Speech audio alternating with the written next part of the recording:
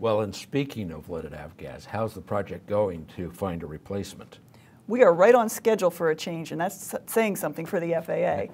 Uh, the Piston Aviation Fuels Initiative Phase 1 testing is currently underway at the FAA's Hughes Technical Center. Phase 1 should be completed by the end of this year.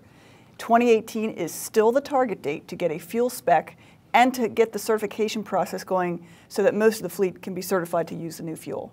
Okay, so we don't need to worry about scrapping our big old Continentals just yet. Definitely not. That's great. Thanks, Melissa. Well, the EPA has once again denied a petition against avgas. Some environmental groups want the feds to officially rule that leaded avgas is a danger to public health. Now, the EPA said it takes the issue seriously, but more research is needed before it makes an endangerment finding.